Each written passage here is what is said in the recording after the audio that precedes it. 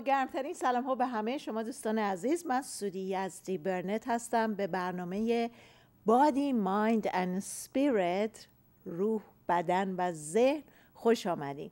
در برنامه امروز راجع کاهش وزن ورزش تغذیه healing و مدیتیشن صحبت می‌کنیم. به طور کلی همه ما می‌خوایم به هیکل دلخواه یا ایدئالمون برسیم و هرچی زمان میگذره متوجه میشیم که ما روز به روز داریم وزنمون بیشتر میشه و بیشتر مشکل داریم که بتونیم اون وزن رو کم بکنیم.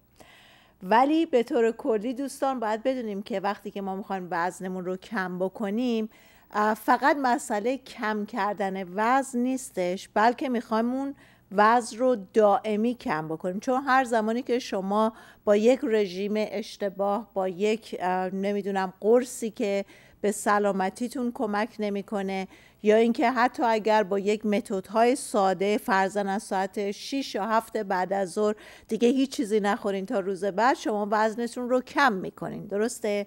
ولی این مسئله دائمی نیستش. به خاطر اینکه به محضی که شما یک چیزی رو تغییر بدین دو مرتبه شما اون اضافه وزن رو پیدا می‌کنین. پس در واقع من می‌خوام چیزی رو که می‌خوام اینجا به شما پیشنهاد بکنم یا مسائلی رو که امروز در موردش صحبت می‌کنم می‌خوام یک راه حل کلی و اساسی باشه. اون راه حل کلی و اساسی چی هستش؟ که شما در اول آرامش ذهن و آرامش فکری داشته باشین و دونه به دونه مسائلی رو که کمک می‌کنه به این قضیه رو در موردش صحبت می‌کنیم. چطور شما می‌تونین به اینر پیس یا به اون آرامش درون برسین؟ وقتی که فکر و ذهنتون آروم باشه وقتی که مغز شما 24 hours در حالش چرخش نیست و افکار مختلف که روز بعد از روز بعد از روز دارن میچرخن در ذهن شما به وجود نمیان. درست؟ خب. پس برای اینکه بتونیم ذهنمون رو آروم بکنیم باید مدیتیشن روزانه داشته باشیم. و در اول می‌خوام یه مقدار صحبت بکنم راجع به مدیتیشن ما مدیتیشن رو می‌تونیم به فرم ها و شکل های مختلفی انجام بدیم. یکی از کارهایی رو که برای کسانی که خیلی ذهنشون مشغوله و اصلا نمی‌تونن بشینن پیشنهاد می‌کنم این هستش که برای مدیتیشن walking meditation انجام بدین. و اون به این صورت هستش که شما شروع می‌کنین به راه رفتن و می‌تونین فقط تمرکزتون رو روی نفستون بذارین یا اینکه می‌تونین نفستون رو ببخشید با هر قدمی که می‌زنین با همدیگه تطبیق بدین. فرزن پاتون رو برمیدارین میشمرین توی ذهنتون. یک دو سه یک دو سه. حالا نفستون رو با اون یکی می‌کنین. یک دو سه یک دو سه. پس زمانی که شما می‌خواین اون راه رفتنتون رو قدم برداشتنتون رو با اون نفسه با همدیگه تطبیق بدین و یکی بکنین چی میشه؟ ذهن شما حالا نمی‌تونه به چیز دیگه ای فکر بکنه. در واقع شما یه کاری به ذهنتون دادین که این ذهن مشغول شده و داره روی اون کار می‌کنه. پس یک مدت وقتی که شما این کار رو انجام میدین یواش یواش یواش کمک می‌کنه بهتون که فکرتون چندین جای مختلف نباشه.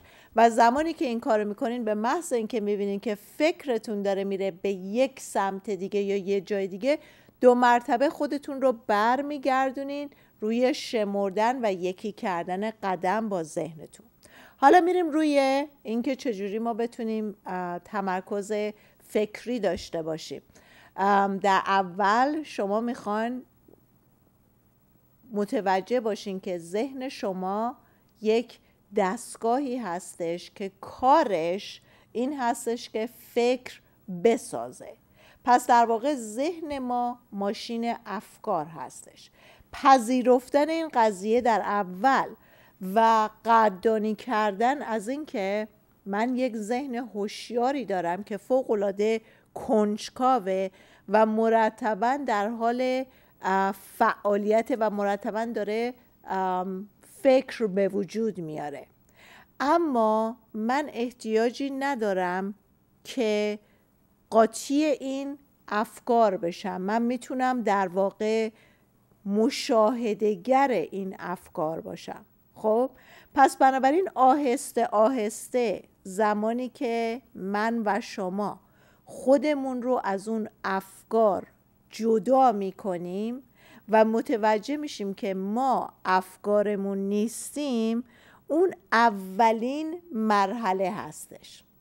همین قسمتش دوستان کلی کار می‌بره تا اینکه کاملا برای ما یکی اینکه جا بیفته که چی؟ که من افکارم نیستم و این افکار در واقع وایبریشن یا امواجی هستند که در فضا در حال حرکت یا جریان هستن. و من میام چیکار می‌کنم؟ من میام این افکار رو می‌گیرم و بهشون مالکیت میدم. حالا من فکر می‌کنم که این افکار من هستم. خب پس در اول جدا کردن من از افکارم به چه صورت؟ فرزن من میشم مشاهدگر افکارم. من چی دارم فکر می‌کنم؟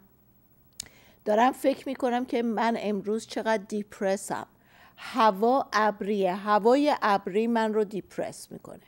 حالا من برمیگردم به عقب و بعد پیش خودم این رو تجزیه و تحلیل می‌کنم و می‌بینم که من دیپرس هستم یعنی چی؟ من خودم رو از دیپرشن اون احساسی که ذهن من داره میگه تو اون هستی جدا می‌کنم. پس متوجه میشم که من دیپرشن نیستم.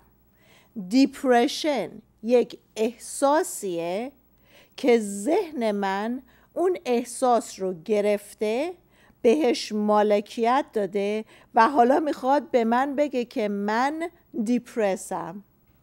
پس بنابراین همونطوری که ما هیچ وقت نمیگیم که توی در برنامه پیشم گفتم ما میگیم که I catch a cold.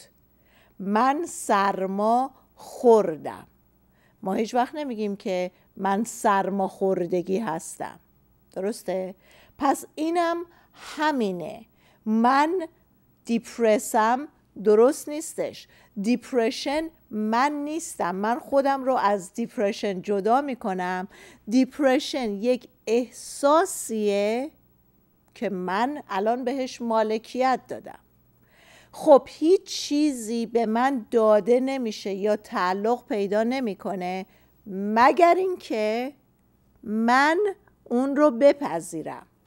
دقیقا مثل حرفی که بودا زد. بودا زمانی که یک آقای اومد و شروع کرد بهش فش داد و بد و بیرا گفت بودا برگشت گفتش که بعد از یه دورانی که هی نشست و اجازه داد که این آقا بد و بیراها رو بگو و بگو بگه بالاخره این آقا خسته شد و برگشت به بودا گفتش که تو چرا هیچ عکس العملی نشون نمیدی؟ چرا هیچی نمیگی؟ بودا برگشت بهش گفتش که من از تو یه سوال می‌پرسم. اگر که من یک هدیه رو به تو بدم و تو این هدیه رو نپذیری این هدیه به کی برمیگرده؟ گفت خب مسلمه به تو. گفت پس اگر تو هم هی به من بد و بیرا بگی و من نپذیرم اون دو مرتبه به تو برمیگرده. خب؟ پس هیچ چیزی دوستان به ما داده نمیشه. چه استرس باشه چه انگزایتی باشه چه شخصیت باشه چه هویت باشه. هیچ چیزی به ما داده نمیشه مگر اینکه ما شخصا اون رو بپذیریم. خب؟ پس ببینین اگر که شما بتونین روی این قضیه کار بکنین که افکارتون رو که مرتبا داره با شما بازی می‌کنه متوجهش باشین و هی مرتبا بکشین خودتون رو عقب و مشاهده بکنین که این فکر من نیستم. این احساس من نیستم.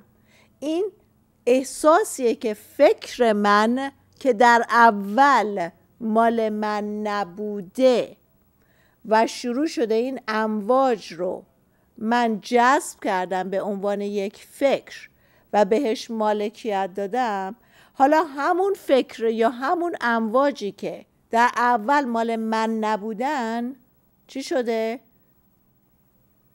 اومدن یک احساس دیگر رو به وجود آوردن و حالا اون احساس رو می‌خوان به من بچسبونن. خب من ریفیوز می‌کنم که بخوام این احساس رو به خودم بگیرم. خب؟ پس در اینجا دوستان یک چیزی رو که ما می‌خوایم متوجه بشیم توجه توجه این هستش که برای اینکه ما بتونیم زندگی بهتری داشته باشیم باید بدونیم که در اول بشناسیم که من انسانی من کیستم و چیستم. خب؟ برای اینکه ما بتونیم خودمون رو بشناسیم تا اونجایی که من متوجه شدم این هستش که من افکارم نیستم. من ذهنم نیستم. من احساساتم نیستم. پس اگر من فکرم نیستم و احساساتم نیستم و بدن فیزیکیم نیستم پس من کیم؟ پس یه مقدار زیادی که ما جستجو می‌کنیم متوجه میشیم در اینجا می‌خوام این رو بگم که یک نیروی دیگه ای یک چیز دیگه ای هستش یک انرژی دیگه ای هستش که داره من رو در واقع میچرخونه یا داره من رو کنترل می‌کنه. خب؟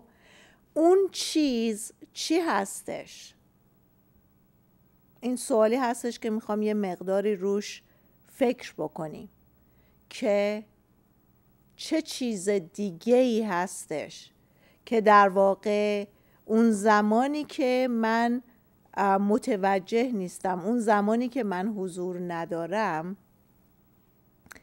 بدن من در حال زندگیه. نفس من داره میاد و میره. این اکسیژن وارد بدن من میشه و مناکساید خارج میشه. قلب من داره مرتبا می‌زنه. خون داره در بدن من جریان پیدا می‌کنه. تمام این اتفاقات داره انجام میشه. چشم من داره می‌زنه چشم من داره می‌بینه گوش من داره میشنوه. تمام این اتفاقات داره میفته و من نقشی در اونها ندارم.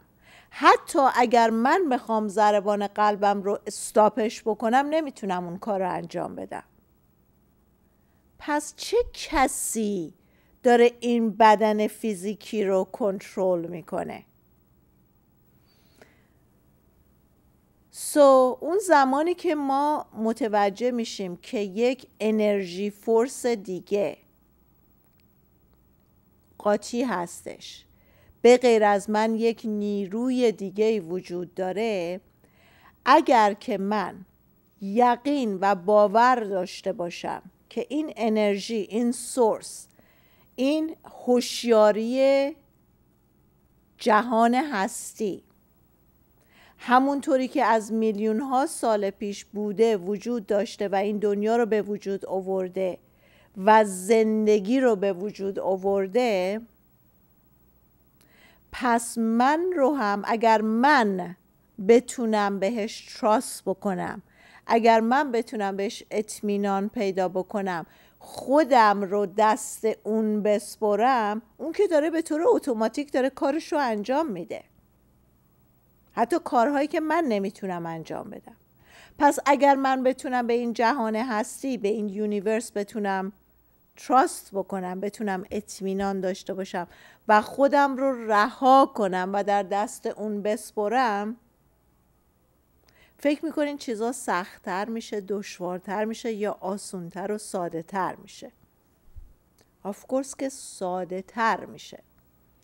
پس بنابراین برمیگردم به اون قضیه ای که اگر که من ذهنم نیستم پس در اول من باید متوجه بشم که من این افکارم نیستم.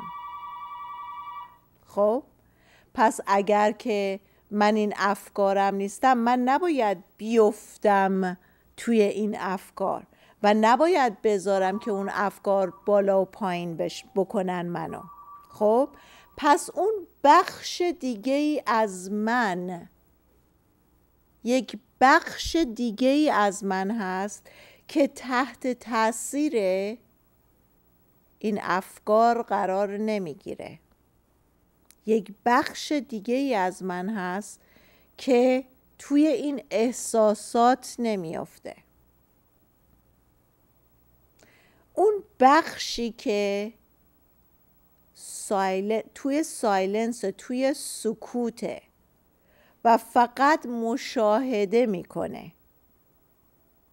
و اون زمانی که من می‌تونم به اون با اون یکی بشم یا با اون رابطه برقرار بکنم حالا من متوجه میشم که زندگی داره در من اتفاق میفته و من می‌تونم فقط اجازه بدم که زندگی در من اتفاق بیفته یا اینکه می‌تونم بیام بیرون و خودم رو توی زندگی مادی رو تجربه بکنم. پس ماها انتخاب داریم. خب؟ حالا تا زمانی که شما اون یکی رو امتحان نکردین چون همیشه در دنیای مادی بودین همیشه توی کشمکش ها بودین بالا پایین شدین دنبال نمی‌دونم درس خوندین کار گرفتین سعی کردین که پول اجاره خونتون رو در بیارین. حالا یه ماشین بخرین نمی‌دونم این کار رو بکنین. شما تا زمانی که درگیری این چیزها رو دارین هیچ وقت نمی‌تونین اون یکی رو امتحان بکنین. برای اینکه اون یکی رو ما بتونیم امتحان بکنیم احتیاج به پول جا مکان زمان هیچ چیزی نداریم. فقط کامیتمنته. یعنی من ام کامیدت خودم رو کامیت می‌کنم که اون وقت و زمان رو بذارم که بتونم از این دنیای مادی خودم رو قطع بکنم. برای هر زمانی که شده ممکنه در اول پنج دقیقه هستش ده دقیقه هستش.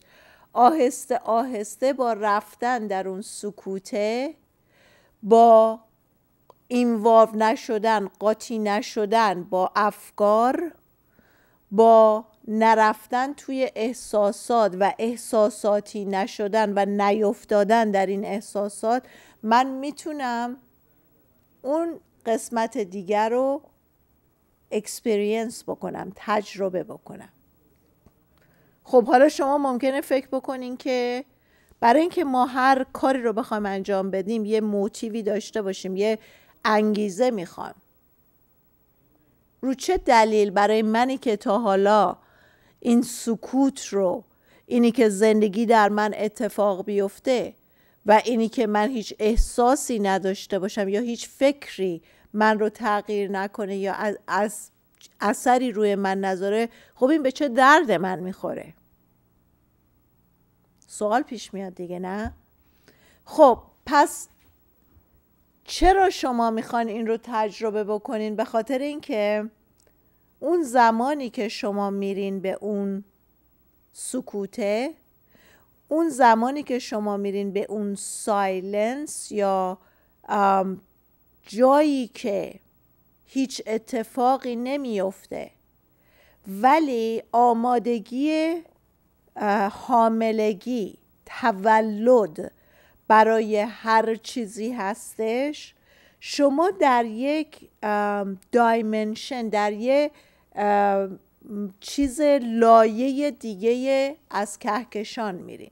یعنی در واقع شما ذهنتون یا کانشسنستون در یک مرحله بالاتر میره. که چیزهایی رو که برای شما در حال حاضر در دنیای مادی فوقالعاده مهم هستش و تمام این بدو بدوها و کشمکش ها و اون زمان رو دارین براش می‌ذارید تمام اینها بیمعنی میشه. چون بعدش ما متوجه میشیم که ای من این همه زمان گذاشتم که فرزن یه خونه بخرم. وقتی اون خونه رو خریدم بعد سووات این همه زمان گذاشتم که فرزن برم اون کورس رو بردارم و اون مدرکه رو بگیرم. چقدر وقت گذاشتم بالا شدم پایین شدم امتحانه رو دادم هرس خوردم بد دادم خوب دادم. حالا اگه قبول نشم بالاخره قبول شدم و مدرکه رو گرفتم. حالا که چی؟ ثروتمند شدم دنبال پول میگشتم. چقدر بدو بدو کردم سر مردم و کلا گذاشتم یا نذاشتم چقدر وقت کردم.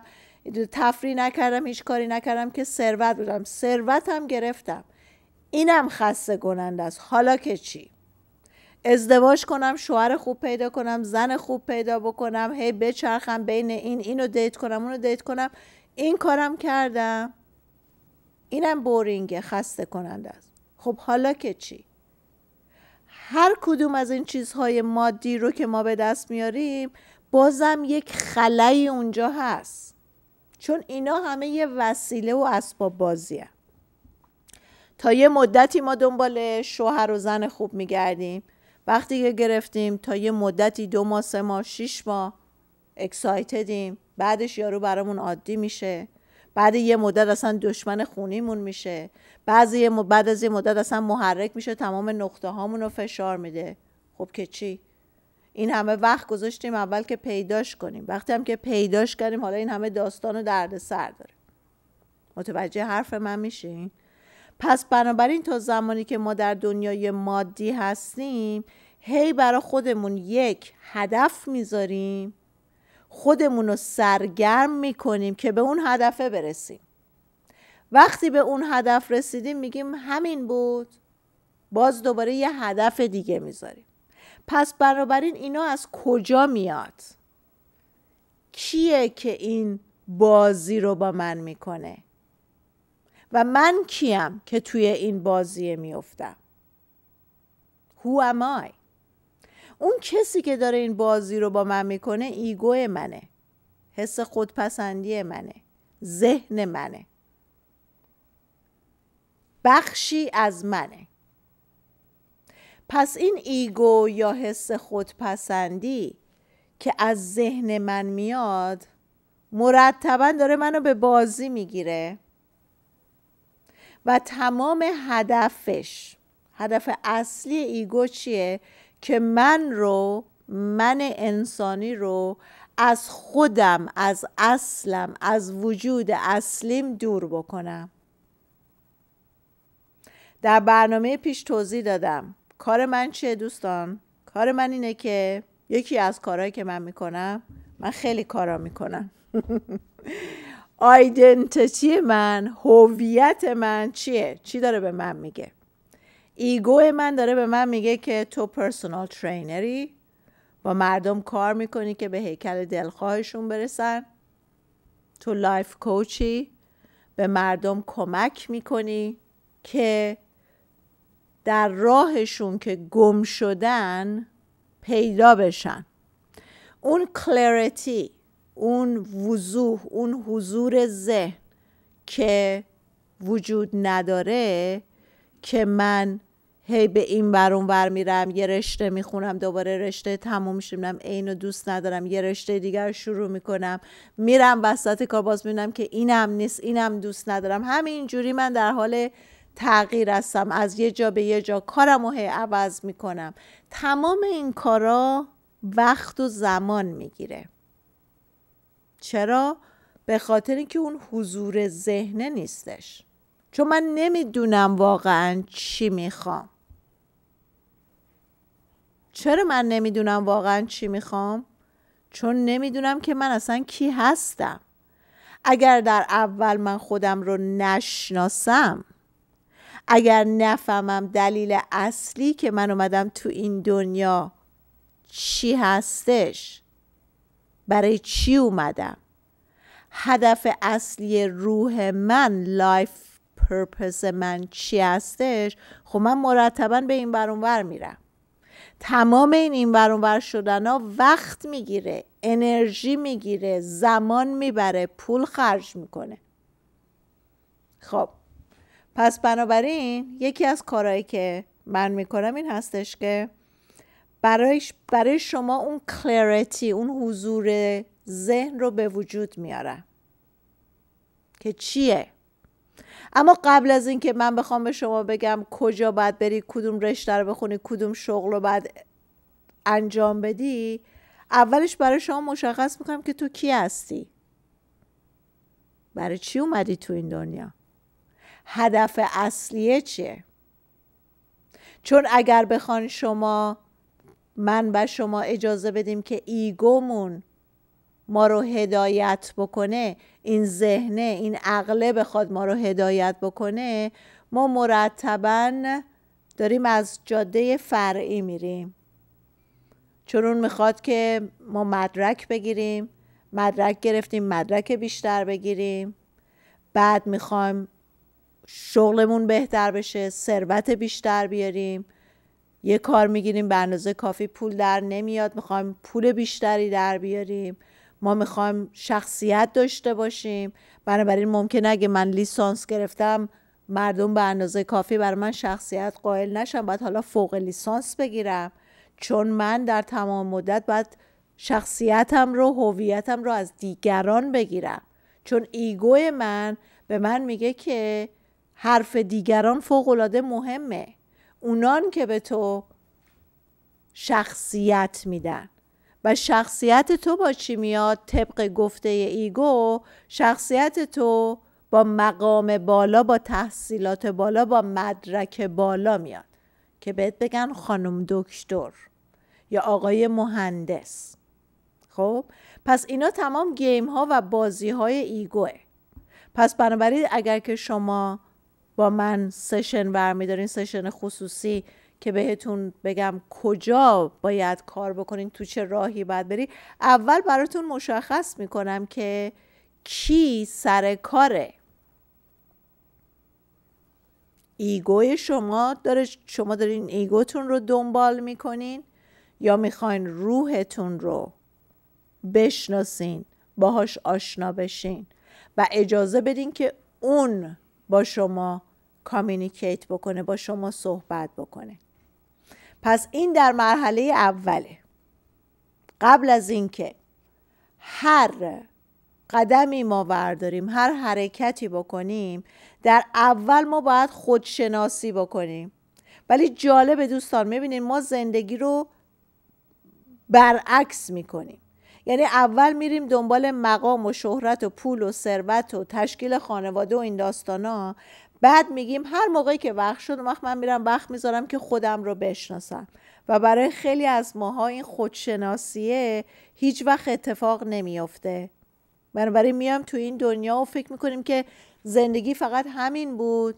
که یه 60 سال 70 سال 80 سال ما بدویم و تشکیل خانواده بدیم و بچه بذاریم که نسل ما بتونه اونم یکی دیگه از بازی های ایگو که ما نسلمون بتونه ادامه پیدا بکنه. خب پس بنابراین اگر که شما با من life coaching می‌گیرین در اول من clear می‌کنم براتون مشخص می‌کنم که کجا می‌خواین برین با چه ذهنی با چه consciousness ی با بیداری قدم بردارین. چون اون زمانی که شما با بیداری قدم بر میدارین متوجه میشین که خیلی از قدم هایی که برداشتین بی خودی بوده. خیلی از قدم هایی که می‌خواین بردارین. بی خودیه. پس این چیکار می‌کنه؟ این میاد زندگی شما رو خیلی سیمپلیسیتی ساده می‌کنه. هرچی که ما آگاهتر و هوشیارتر میشیم سیمپل سیمپلیسیتی بیشتر توی زندگی ما خودشو نشون میده. سادگی. سادگی از کجا میاد که من در اول تا اونجایی که امکان داره خودم رو از این دنیای مادی جدا می‌کنم. دنیای مادی خیلی وقتا ما فکر می‌کنیم که وقتی ما میگیم دنیای مادی منظورمون از دنیای مادی فقط متریاله. ماشین خونه است پول ثروته. نه. دنیای مادی وابستگی و چسبندگی به افراد هم هست. اینم بخشی از دنیای مادیه. پس اون زمانی که من متوجه میشم که جدایی در این یونیورس وجود نداره. ماها همه با هم دیگه یکی هستیم. پس هیچ فرقی بین خونواده من بچه من زن من و شوهر من با همسایه بغلی با اون کسی که در افریقا زندگی می‌کنه اون کسی که در افغانستان زندگی می‌کنه هیچ فرقی بینش نیست. یونیتی یگانگی یعنی این. که همه ما با همدیگه یکی هستیم. پس وقتی که من متوجه این قضیه میشم دیگه چسبندگی ببینین بعضی وقتا چقدر گریه و زاری سر این که پدر من مرد دو ساله من هنوز دارم گریه می‌کنم. کدوم پدر؟ مادر من مرد دو ساله هنوز من نتونستم. وابستگان من رفتن من بدبخ شدم من این شدم من اون شدم. این یعنی اینکه شما چسبنده و وابسته به دنیای مادی هستیم پس وقتی که ما میگیم ما خودمون رو جدا می‌کنیم یعنی چی؟ یعنی اینکه من برای تمام افرادی که در این دنیا هستن عشق دارم و تمام کارهای من گفتار من کردار من پندار من همه و همه با خوبی با عشق با محبته درست شد؟ اما من به اونا نمی چسبم که اگر از من دور شدن حالا من دلم تنگ میشه اگر منو از چه می‌دونم از کانادا وردارن بذارن توی آفریقا. من خونوادم و از دست میدم گریه و زاری می‌کنم زندگی من به هم میریزه. چون من چسبندم و وابستم و حالا این دوری الان منو از زندگی انداخته. دوباره برمیگردم به اون قضیه که توضیح دادم. گفتم اون بخشی از من که در این احساسات نمیافته. اون بخشی از من که تحت تاثیر این افکار قرار نمی‌گیره. اون فقط مشاهدگره اون فقط این افکار رو نگاه می‌کنه که میاد و میرن. چه جالب. اون فقط نگاه می‌کنه احساساتی که می‌خوان بالا و پای میشن فقط تماشاشون می‌کنه. درست شد؟ پس جدا شدن من از این دنیای مادی میشه؟ تمام متریال به اضافه تمام احساسات. اونی که من نظر مردم برام مهمه این وابستگی به دنیای مادیه. چون اون افراد در دنیای مادی هستن. اون زمانی که من به اون سکوته و به اون درونه میرم که اون افراد وجود ندارن که. اون زمانی که قضاوت من می‌کنم که این بلنده این کوتاس این چاقه این لاغره این دزده این گداس اون اینه این اونه. اینا تمام زندگی در دنیای مادیه. اون زمانی که من به آگاهی یا هوشیاری بالاتری می‌رسم متوجه میشم که هیچ کسی نه بده نه خوبه. چون بدی یا خوبی قضاوته.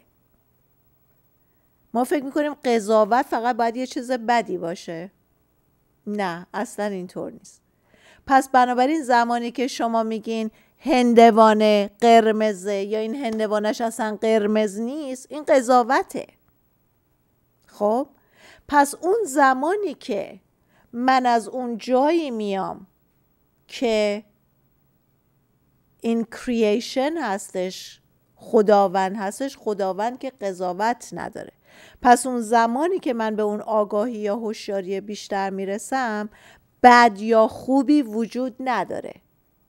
پس اگر من بتونم از اونجا بیام و اگر من بتونم در هر انسانی اون خدای درونیشون رو ببینم که دیگه بدی درشون نمی‌بینم که. درست شد؟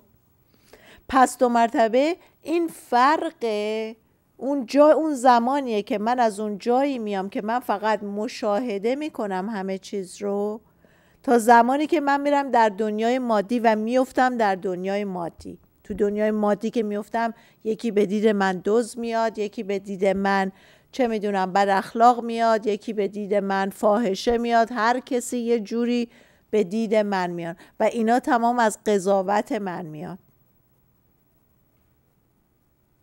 خب؟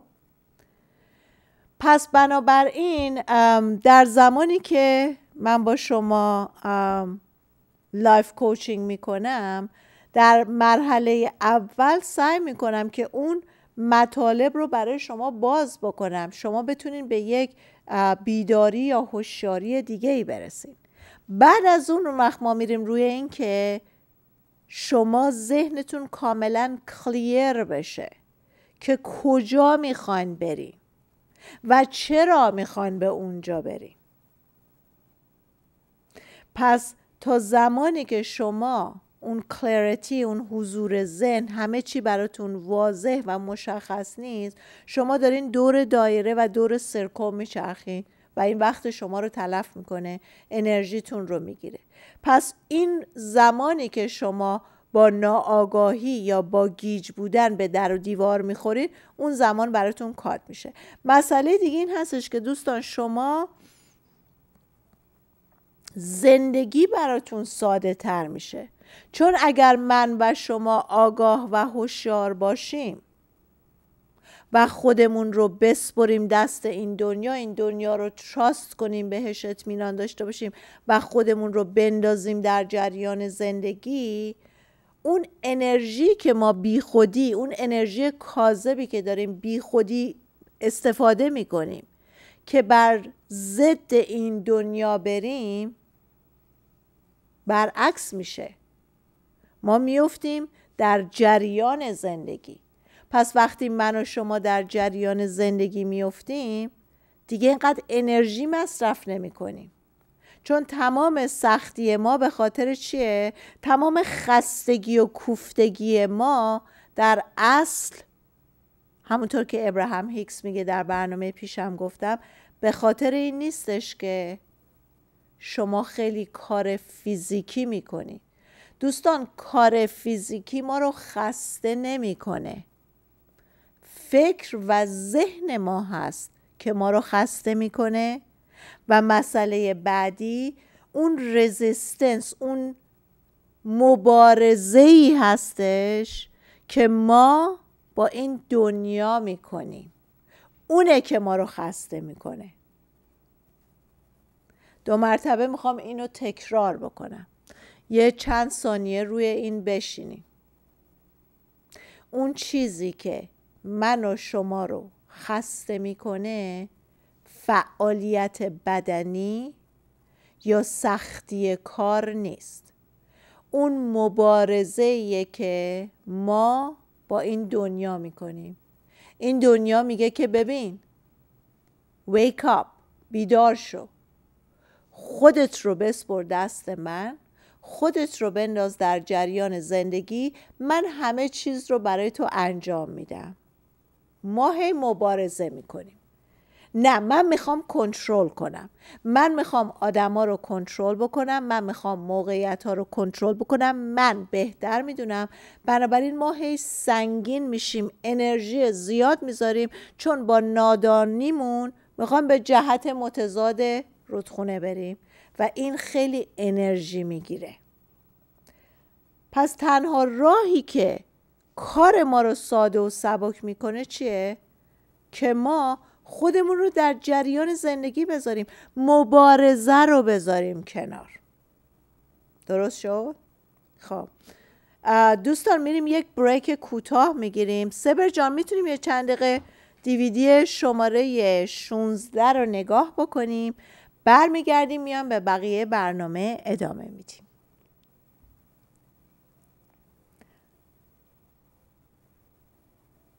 حاضری سپر جان؟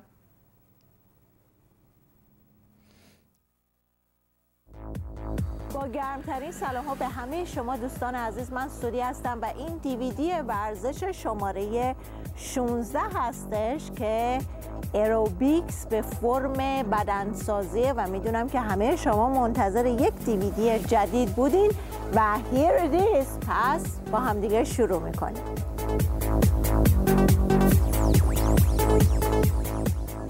اوکی دوستان عزیز مارچ همه چیز سر جای خودش شکم تختو بادک سفت همه چیز سر جاش.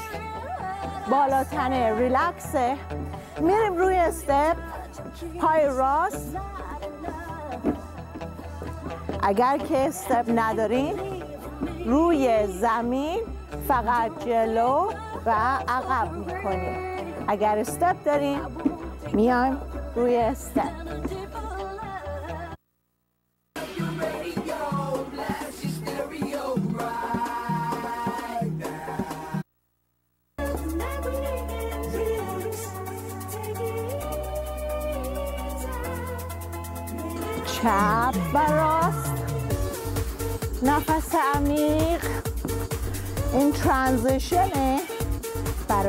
حرکت بعدی.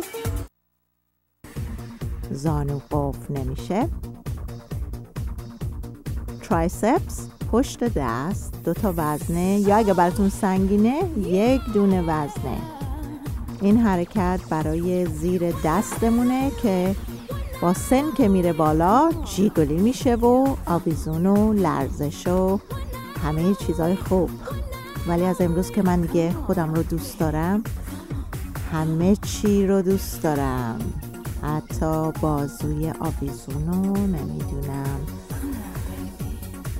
شکم بزرگو چرا؟ چون I love myself. من خودم رو دوست دارم.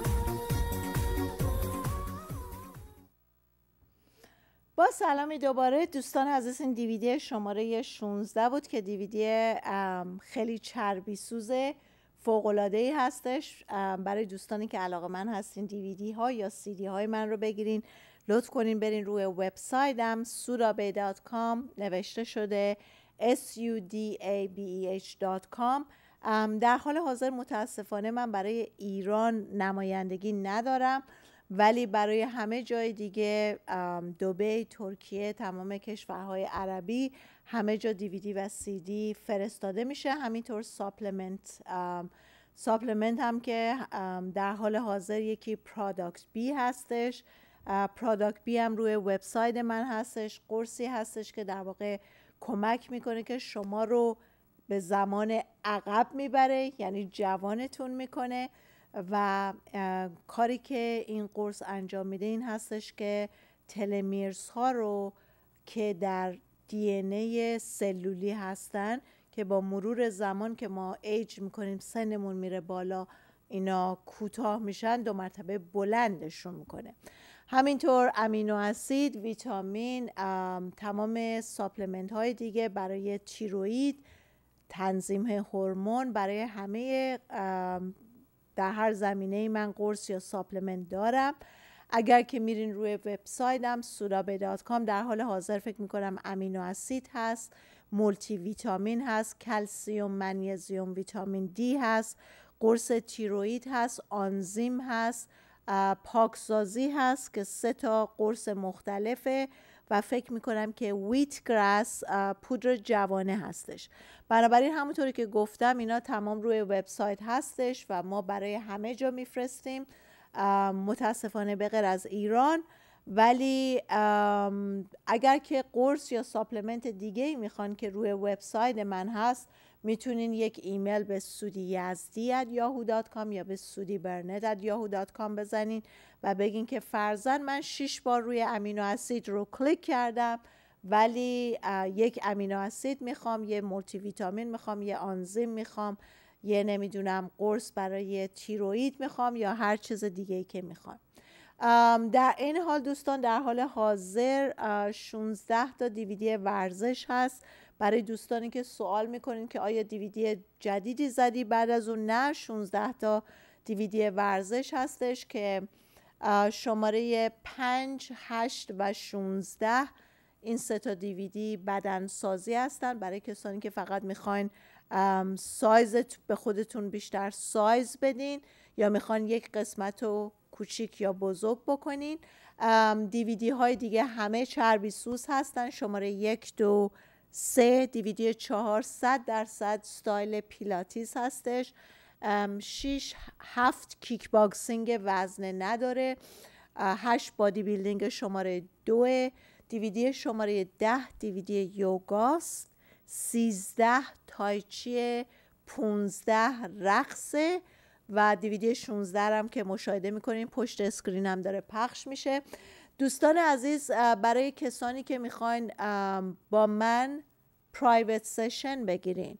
جلسه خصوصی داشته باشین. اون رو من با تمام جاها کار می‌کنم. بنابراین می‌تونیم از طریق سکایپ یا از طریق تلفن یا از طریق ایمیل باشه. بنابراین لطف بکنین ایمیل بزنین به سودی یزدی at yahoo.com برای دوستانی که علاقه‌مند هستین روی فیسبوک با من دوست بشین. من روی فیسبوک سودی برنت هستم.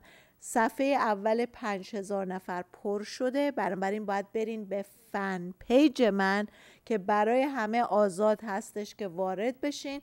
صفحه رو like ش بکنین و بعد خودتون وارد میشین.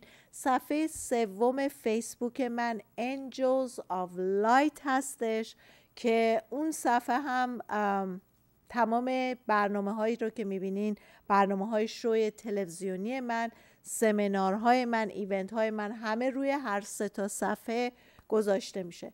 تا فراموش نکردم دوستان وسط April April 13 14 و 15 من دارم به لندن میام. Alchemy event یک سمینار فوق العاده گنده هستش برای دوستانی که علاقه‌مند هستین به متافیزیک healing تمام این برنامه ها من اونجا هستم. دو تا workshop دارم در روز شنبه و یک شنبه و یک lecture دارم که هر کدوم اینها دو ساعت هستش و بعد privately شما رو می‌بینم. اگر برای life coaching هستش healing می‌خواین. اگر در هر قسمتی از زندگیتون اگر از نظر سپرچولی ارفانی احتیاج به یک معلم دارین یا یک کسی که کوچتون بکنه راهنماییتون بکنه. اگر از نظر ذهنی روحی مشکل دارین. اگر از نظر فیزیکی مشکل دارین. در تمام این قسمت ها من می‌تونم بهتون کمک بکنم. بنابراین شماره تلفن من دوستان 310 877 75 74 لطف بکنین پیام های خودتون رو بگذارین. می‌دونم که هنوز یک سری از دوستان از ایران هنوز متوجه نشدن که من این برنامه رو شروع کردم. امیدوارم که به زودی همه متوجه بشن. برنامه تلویزیون پارس هر یک شنبه ساعت نه شب به وقت لس آنجلس و تکرار اون هشت و نیم صبح دوشنبه ایران پخش میشه. برای برنامه دیگه من از تلویزیون امید ایران که فقط برای اروپا و sorry برای امریکا و کانادا میره. روزهای سه شنبه ساعت دوی بعد از ظهر هست. ولی در صورت دوستان تمام برنامه ها روی Facebook YouTube من دو تا channel دارم سودی یزدی و سودی برنت هست و برای جلسات خصوصی با من از راه دور یا اسکایپ باید لطف بکنین به من ایمیل بزنین که قرار قبلی بذارین. ایمیل ادرس هم هست سودی یزدی at yahoo.com یا سودی برنت at yahoo.com امیدوار هستم که این برنامه مورد توجهتون قرار گرفته باشه. تا یک شنبه آینده ساعت نه شب لس آنجلس همه شما رو به خدای بزرگ میسپارم و I love you.